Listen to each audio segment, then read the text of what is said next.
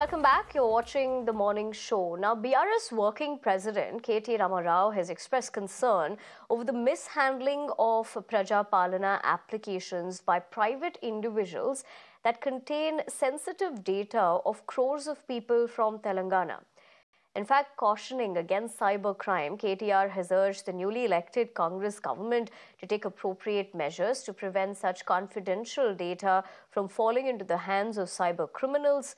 Now, this comes after videos went viral on social media where scores of Praja Palana forms were found fallen on the road while they were being transported.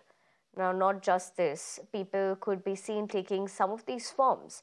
He further urged the state citizens to exercise caution and asked people of Telangana to not share any OTP or bank details if someone calls them offering to give pension or house or any of the six guarantees that were promised by the Congress government. Congress government in Telangana has officially announced that 1 crore 11 lakh people have applied for the five guarantees announced by the Congress. But it is really shocking that since yesterday, these application forms were being found in tea hotels and today morning at the Balanagar flyover, a box full of application forms were found on the road. Now the question is, how did the data leak of 1 crore 11 lakh people's phone numbers and Aadhaar numbers reach to anonymous people?